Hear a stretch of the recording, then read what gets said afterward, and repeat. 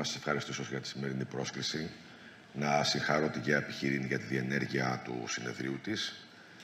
Ε, προέρχομαι από την Ένωση Μεσσηνίας και εκπροσωπώ το Σύνδεσμο Αγροτικών Συνεταιριστικών Οργανώσεων και Επιχειρήσεων Ελλάδας. Θα προσπαθήσω όσο πιο σύντομα γίνεται να δώσω μια οπτική γωνία σε όλα αυτά που συζητούμε σήμερα μέσα από τα μάτια των παραγωγών και των συνεργειών που μπορεί να συμμετέχουν ή και όχι. Βρισκόμαστε σε μια κομβική χρονική περίοδο που διακατέχεται από έντονες γεωπολιτικές εξελίξεις και γεωοικονομικές. Μετά την εισβολή της Ρωσίας στην Ουκρανία έχει αλλάξει άρδινη εικόνα ε, στον πρωτογενή τομέα, έχει επηρεαστεί σε πολύ μεγάλο βαθμό ε, μέσω δύο πραγμάτων, μέσω δύο καταστάσεων. Το ενεργειακό κόστος είναι πια σε σημείο το οποίο δεν μπορεί να το διαχειριστεί ο κάθε παραγωγός. Απ' την άλλη, από την περσινή κιόλας περίοδο, άρα βρισκόμαστε στη δεύτερη, έχουμε μία εκτόξευση τιμών και στα φυτοπροστατευτικά προϊόντα, αλλά και στα λοιπάσματα. Άρα, ο παραγωγός έχει μία σύγχυση στο μυαλό του, γιατί η στρατηγική της Ευρωπαϊκής Ένωσης, όπως αναλύθηκε πριν, δηλαδή με την λογική και την πολιτική από το αγρότημα στο πιάτο. Συνάμα με την υπεράσπιση της βιοποικιλότητας που έτσι και αλλιώς ενδιαφέρονται και οι ίδιοι παραγωγοί, κυρίως οι νέοι, γιατί θέλουν να διατηρήσουν σε ψηλά επίπεδα την, ε, τα αγροκτήματά τους και να μην τα καταστρέφουν γιατί αυτούς πέρα από πηγή εισοδήματος είναι και πηγή ζωής. Και από την άλλη έχουμε τις καταναλωτικές ανάγκες οι οποίες έχουν αλλάξει σε πολύ μεγάλο βαθμό οι ταχύτητες και οι απαιτήσεις των αγορών είναι πάρα πολύ πιο γρήγορες από το παρελθόν, άρα οι αγορές αυτό που θέλουν πρακτικά το απαιτούν. Μέσα λοιπόν σε όλο αυτό το περιβάλλον βρίσκεται σήμερα ο Έλληνας και ο Ευρωπαίος αγρότης. Ας μιλήσουμε όμως για τους Έλληνες αγρότες και παραγωγούς. Άποψή μου και το λέω ξεκάθαρα είναι ότι η υπεράσπιση του πρωτογενούς τομέα στη χώρα μας ε, υπάρχει για δύο βασικούς λόγους και πρέπει να συνεχίσει να υπάρχει για δύο βασικούς λόγους. Ο ένας λόγος είναι το μεγάλο πρόβλημα που ταρανίζει τη χώρα εδώ και πολλές δεκαετίες, το δημογραφικό. Έχουμε έναν μαρασμό στην Ήπεθρο, μια δραματική μείωση του πληθυσμού, γιατί δεν υπάρχουν σοβαρά κίνητρα.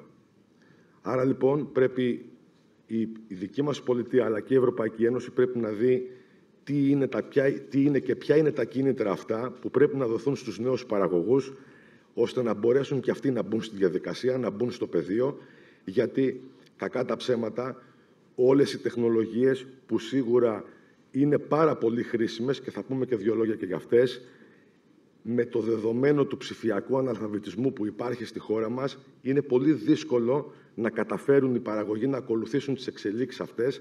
Άρα, μην κάνοντας βήματα ή μην έχοντας ολοκληρώσει βήματα από την προηγούμενη ΚΑΠ στη μετάβαση για την καινούρια, θα χρειαστεί πάλι να κάνουν ένα θαύμα, δηλαδή να γίνει ένα άλμα ώστε να μπορέσουν να ακολουθήσουν. Και σκεφτείτε ότι στην Ήπεθρο ε, είναι πολύ δύσκολο να εφαρμοστεί η διαδικασία της ευθύους γεωργίας και όλων αυτών των ε, έξυπνων συστημάτων, γιατί πολύ απλά σε πολλές περιοχές δεν υπάρχει δυνατότητα ούτε της χρήσης του κινητού τηλεφώνου. Άρα πώς θα υποστηρίξουμε όλη αυτή τη διαδικασία όταν έχουμε έλλειμμα σε πολύ βασικές δομές. Στη συνέχεια, να πούμε και δύο λόγια για το ενεργειακό κόστος. Είναι σίγουρο ότι πρέπει να υπάρξει ένα γρήγορο πλαίσιο αποτελεσματικό. Θα το πούμε με δύο λόγια απλά. Πρέπει να υπάρξει ένας εκδημοκρατισμός στην συμμετοχή στην ενέργεια.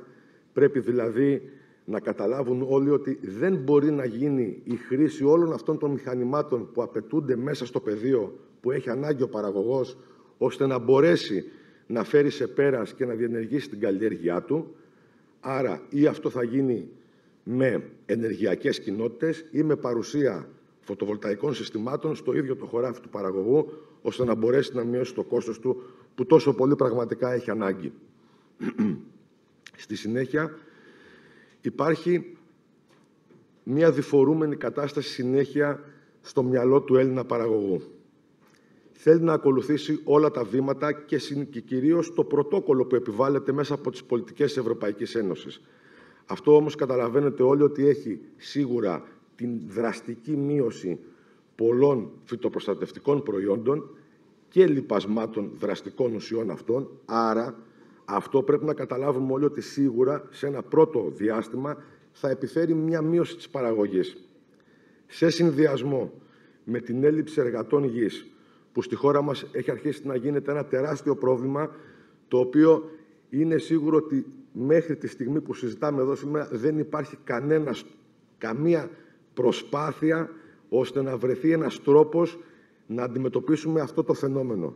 Σε συνδυασμό με τη γύρανση της, υπήρου, της, της υπαίθρου, με συγχωρείτε, είναι μια εκρηκτική λοιπόν, ένα εκρηκτικό αποτέλεσμα αρνητικό, το οποίο δεν μπορούν να το αντιμετωπίσουν οι Έλληνες παραγωγοί και το πρώτο πράγμα που θα επιφέρει μείωση στις παραγωγές θα είναι η μη δυνατότητα ώστε να μπορέσει ο παραγωγός να συγκομίσει την καλλιέργειά του, τη δεδηλωμένη καλλιέργειά του, αυτή που έκανε τα προηγούμενα χρόνια. Άρα λοιπόν, αυτό που χρειάζεται ο Έλληνας παραγωγός ανακεφαλώνοντας είναι σίγουρα τι θα γίνει με το ενεργειακό κόστος, τι θα γίνει με το πρωτόκολλο καλλιέργειας και πάμε τώρα λοιπόν σε κάποια άλλα ζητήματα γρήγορα γρήγορα για να μην κουράζουμε και το σώμα. Αυτό που απασχολεί τους νέους που βρίσκονται στην Ήπεθρο, που βρίσκονται στην επαρχία, είναι να μπορέσουν να περάσουν τις καλλιέργειές τους την επόμενη μέρα. Αφού λοιπόν δεν υπάρχει η δυνατότητα άμεσης χρηματοδοτικής επέμβασης δραματικά αλλάζοντας την υφιστάμενη κατάσταση, είναι σίγουρο και είναι και αναγκαίο, αλλά είναι και ποιοτικά σωστό, οι παραγωγοί να στραφούν σε νέες μεθόδους. Μια τέτοια νέα μέθοδος είναι η ακριβής γεωργία, είναι τα έξυπνα συστήματα γεωργίας, τα οποία, μέσα από τα οποία ο παραγωγός στο πεδίο θα διαχειριστεί το νερό. Το έχουμε πει πολλές φορές, το νερό είναι χρυσάφι και απασχολεί τους πάντες ο τρόπος διαχείρισής του. Είναι οι στοχευμένες δράσεις οι οποίες μπορούν να του εξασφαλίσουν τα έξυπνα συστήματα, ώστε μέσα από αυτά να μπορέσει να αρχίσει να μειώνει το κόστος παραγωγής του, μην κάνοντας λάθος επεμβάσεις στο χωράφι του, μην χρησιμοποιώντας περισσότερα σκευάσματα από αυτά που πραγματικά έχει ανάγκη. Άρα λοιπόν είναι ένας ωραίος, σύγχρονος και άμεσος τρόπος να διαχειριστεί το κόστος παραγωγής του.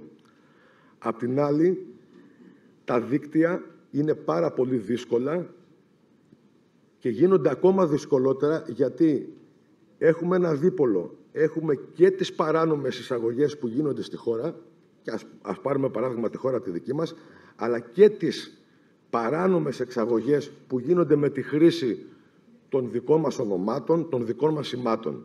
Και επειδή ανέφερα τη λέξη σήμα για να μην ξεχαστώ, άποψή μου είναι ότι η χρήση ευρύτερα όλων των έξυπνων αυτών εφαρμογών πρέπει να καταλήξει σε ένα σήμα για να δημιουργηθεί και από αυτή τη διαδρομή μια υπεραξία γιατί ταυτόχρονα θα εξασφαλίζεται και ένα πολύ μεγάλο μέρος της συχνηλασιμότητας που υπάρχει σε αυτό το προϊόν.